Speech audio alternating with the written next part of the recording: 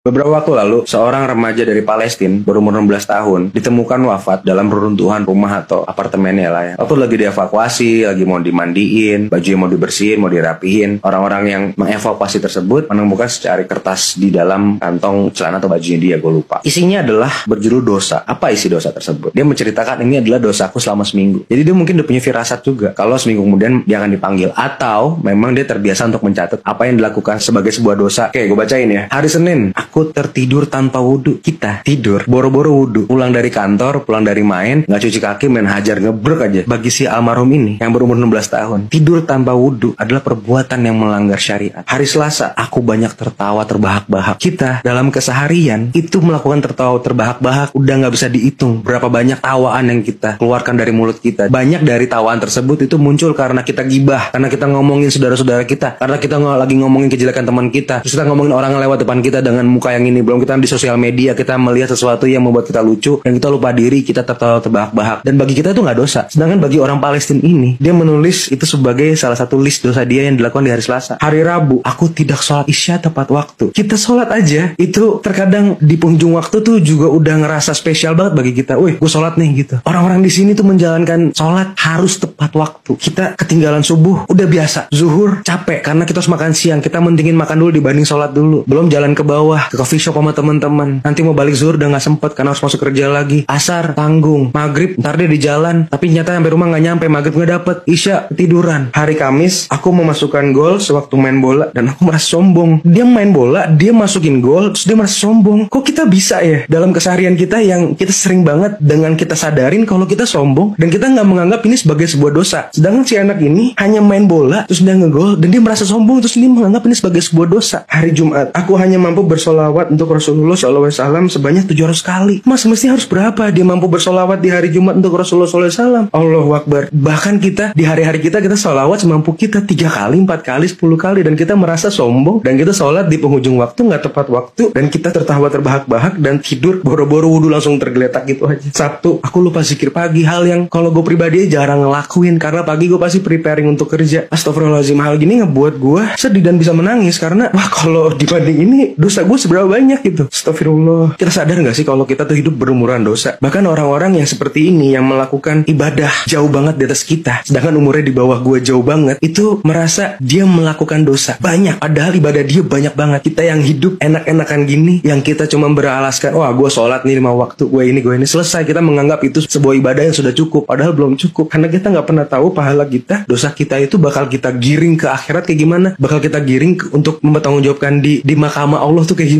kita nggak pernah tahu dan kita sepertinya kita belum siap untuk itu. Kita hanya pura